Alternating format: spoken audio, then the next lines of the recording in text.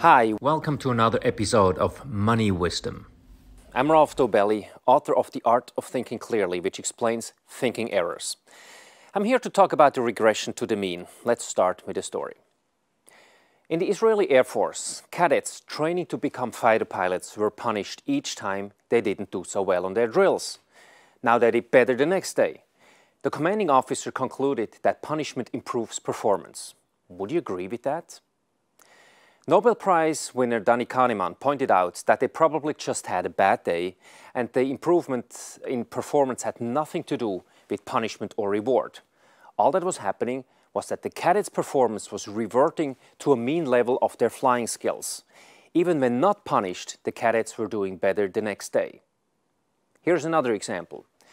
Suppose your region is experiencing record cold weather or record rain. In all probability, the temperature will rise in the next few days or the rain will stop. The weather will revert to its monthly average.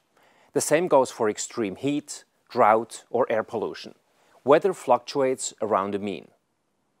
The same is true for school grades, stock market performance, and subjective happiness. Where do we see the regression to the mean delusion in the financial markets? You've seen ads boasting this fund outperformed all other funds last year, or this was the most successful stock of the last 12 months.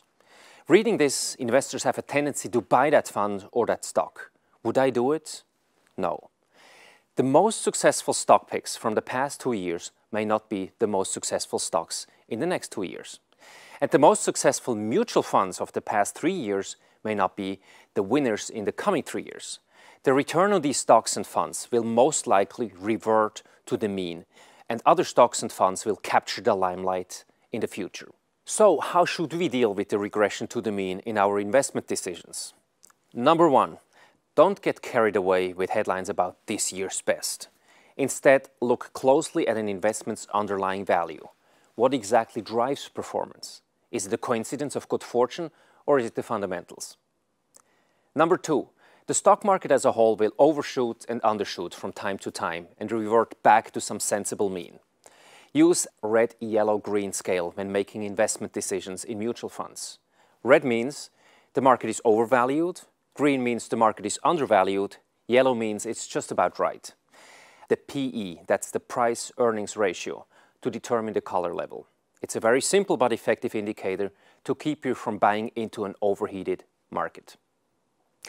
To sum up, ignoring the regression to the mean can have destructive consequences for our investments. We are drawn to invest in the winner of the year, even though this year's winner might just have been a lucky call. Next year, some other stock or fund will be the winner of the year. The way for you to be the winner of every year is to ignore all that hype. Thank you. Mutual fund investments are subject to market risks. Read all scheme related documents carefully. To watch more videos about making wiser money decisions, click one of these links here.